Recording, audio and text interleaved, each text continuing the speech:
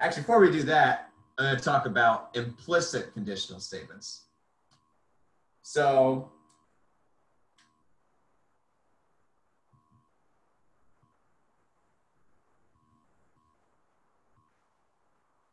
implicit conditional statements. What these guys are, are just if P of X and Q of X are predicates, so just a sentence when it comes to statement you plug at the end, if they're predicates with a shared domain D,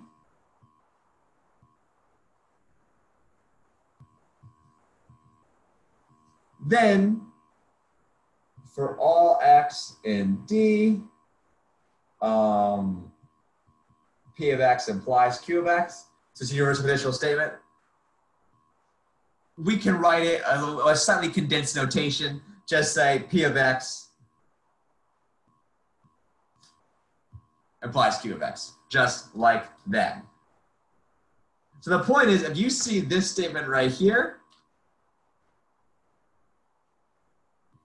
First of all, from context, figure out what the domain is, and then you're good. So for context, figure out what, what, what the shared domains we're talking about, and then it is that statement.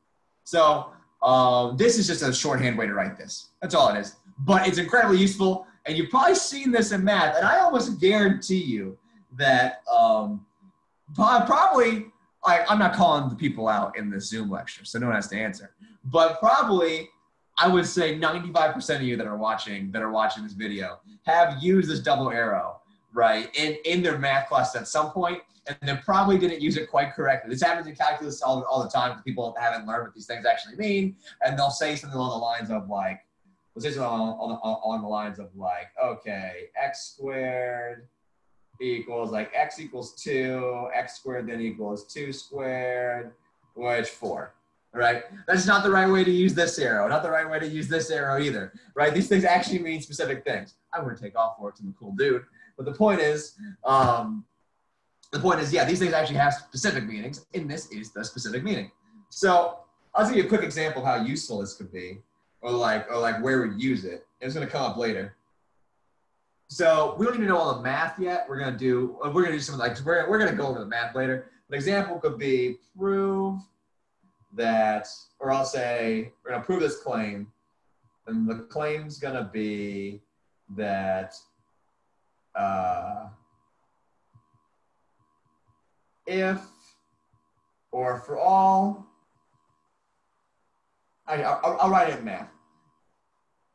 For all x in the real numbers, right, x squared minus 5x plus 6 equals 0 implies that x equals minus 2 or x equals minus 3, right? And you guys have totally done this before, right? I mean, you, have had this factoring problem probably a thousand times. And the way you prove it is you go, okay, proof assume x is an r with x squared minus 5x plus 6 equals 0. Then, and so what you're doing here, right, is you're assuming that the hypothesis is true and then showing that the conclusion must be true because that's how you prove an if then true. So then um, we have that x squared minus 5x plus 6 equals 0 um, by assumption. And then from there, we can say this is x squared minus 2x minus 3x plus 6 equals 0 by addition or kind of reversing or subtraction or, or reversing addition. And this is going to be the same thing as x times x minus 2 minus 3 times x minus 2. And what we did here is we factored, but factored is really just the opposite of by distributing.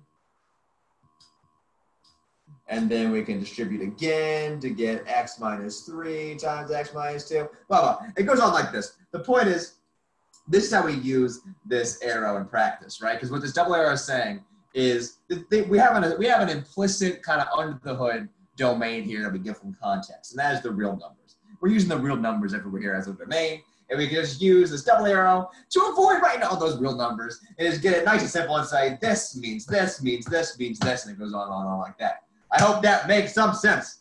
I well, I meant to stop like right here, but then I got so into the proof because it's such a nice proof.